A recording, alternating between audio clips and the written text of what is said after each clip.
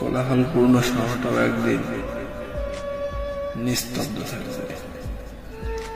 আর সিরফুটে লেখা থাকবে, আমি আর নেই। রাতের নিস্তব্ধতা মানে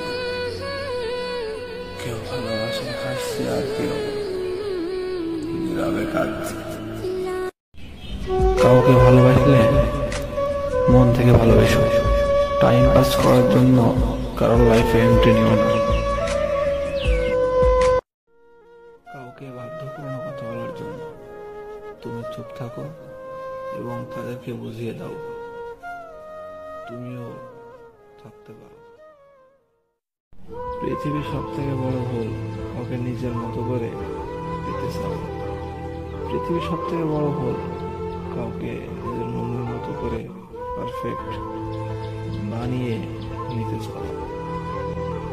আর সব থেকে বড় বোকামি কাউকে পাগলের মতো